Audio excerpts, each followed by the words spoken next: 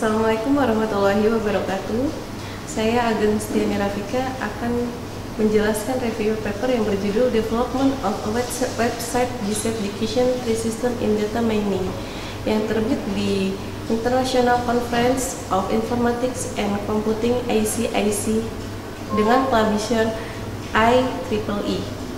Uh, di sini um, abstrak yang dijelaskan di dalam paper ini adalah dengan masalah pergantian jurusan dengan tiba-tiba membuat masalah yang rumit di sekolah menengah kejuruan.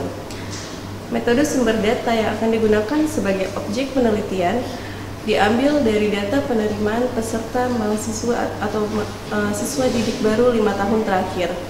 Tujuannya dari penelitian ini adalah untuk pengembangan sistem akan menghasilkan aturan yang dapat diterapkan untuk memprediksi kemungkinan siswa pindahan di SMK. Introduction dari paper ini adalah SM, SMK Puspek Serpong sebagai sekolah menengah kejuruan saat ini dalam pelaksanaan pendaftaran penerimaan siswa baru belum menggunakan sistem online. Nah, dari situ masalah-masalah yang ada timbul begitu banyak. Masalah kesalahan dalam pemilihan kejuruan akan mengakibatkan kehadiran di basis data yang telah dibuat oleh sekolah akan berubah dan prakteknya tidak sesuai terutama tentang raport.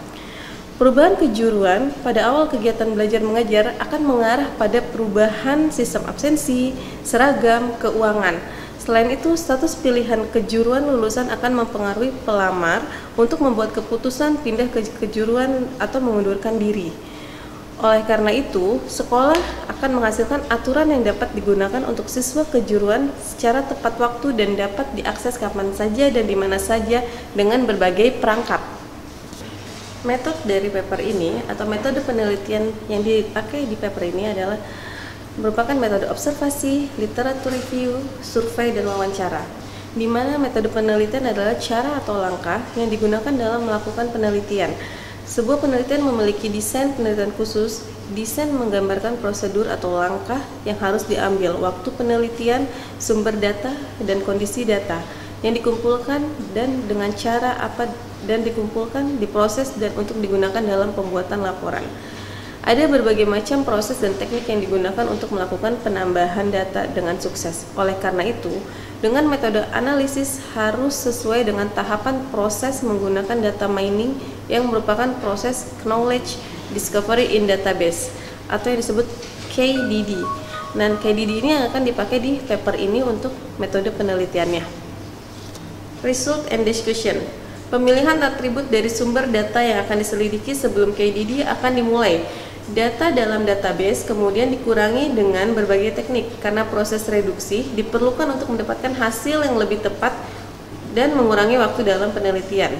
Sebagai data historis, penerimaan siswa baru untuk menerima untuk terdiri dari beberapa atribut Tahap selanjutnya dari KDD adalah pre-processing proses pembersihan database pada penerimaan siswa baru atau data tidak lengkap dan tidak terisi.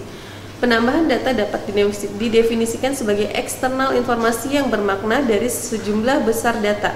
Ini telah digunakan dalam banyak aplikasi seperti penambangan dalam pen, penambah penambangan dalam data pendidikan, penambangan web, penambangan teks, penambangan data memiliki fungsi sendiri sehingga layak untuk penelitian ini menggunakan penambangan data prediksi menggunakan metode pohon keputusan.